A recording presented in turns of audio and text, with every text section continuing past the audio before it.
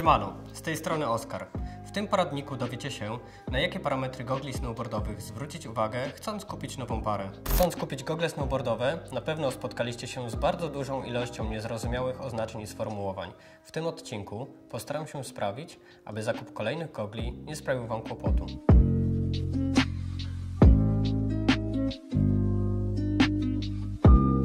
Na początek rozmiar. Gogle można zakupić zazwyczaj w wersji przeznaczonej dla dzieci lub w dwóch rozmiarach dla dorosłych, czyli M i L. Jak pewnie się domyślacie, zależy to od kształtu naszej twarzy oraz rozmiaru kasku. Warto więc przed wyjazdem w góry dokładnie przymierzyć gogle, sprawdzić, jak leżą one na naszej twarzy oraz czy są one kompatybilne z kaskiem. Dodatkowo, dla osób, które na co dzień noszą okulary, istnieją gogle z ramkami OTG, czyli Over the Glasses które umożliwiają założenie gogli na okulary. Kolejnym krokiem w wyborze odpowiednich gogli będzie ich kształt. Pierwszy z nich to kształt cylindryczny. Powierzchnia soczewki jest pionowo-płaska między nosem a czołem.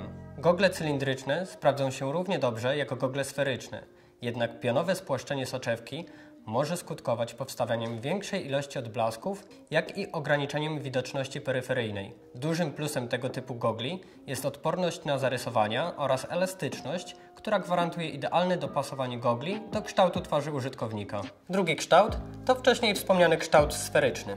W tym przypadku mamy do czynienia z kulistym kształtem soczewki, która zakrzywiona jest zarówno w poziomie, jak i w pionie.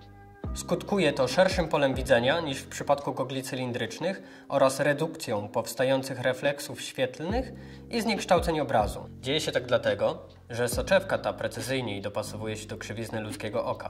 Niestety, wadą takiego rozwiązania jest duża podatność na zarysowania i uszkodzenia oraz mniejsza elastyczność. Rodzaje soczewek. Istnieje ogromna gama kolorów soczewek, a każdy kolor cechuje się innym oznaczeniem.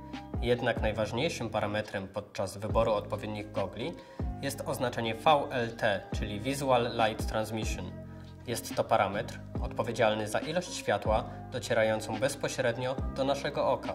W zależności od producenta występują dwa typy oznaczeń przepuszczalności światła. Są to oznaczenia procentowe, ukazujące bezpośrednio, jaki procent przepuszczalności posiada dana soczewka, lub za pomocą przedziału od S0 do S4 gdzie S0 to od 80 do 100% przepuszczalności, a S4 od 3 do 8%. Soczewki o dużej przepuszczalności światła dobrze sprawdzą się podczas wieczornej jazdy lub przy zachmurzonym niebie. Natomiast mały procent przepuszczalności zapewni nam komfort jazdy podczas słonecznej lub częściowo zachmurzonej pogody, kiedy nie występują znaczne opady śniegu. Najlepszym rozwiązaniem jest zakup gogli posiadających dwie szyby o różnej skali przepuszczalności w zestawie. Kolejnym istotnym parametrem są filtry UV, ale bez obaw.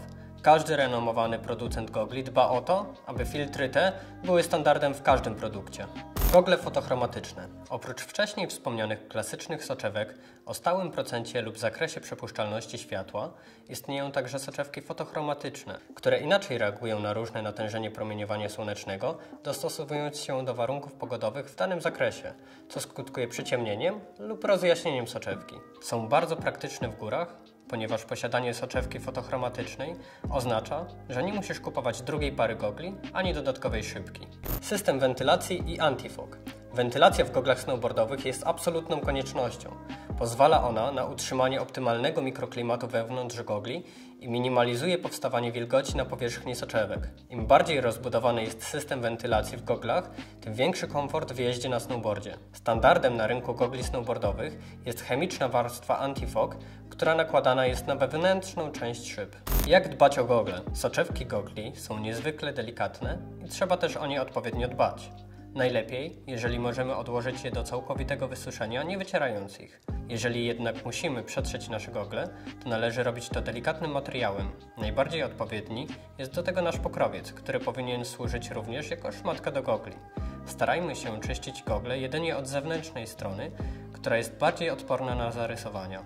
Na koniec chcielibyśmy jeszcze przypomnieć, że folijkę ochronną, która znajduje się po wewnętrznej stronie soczewki, należy zerwać, aby mieć dobrą widoczność podczas jazdy. Mamy nadzieję, że ten poradnik ułatwi Ci zakup gogli. Widzimy się na supersklep.pl.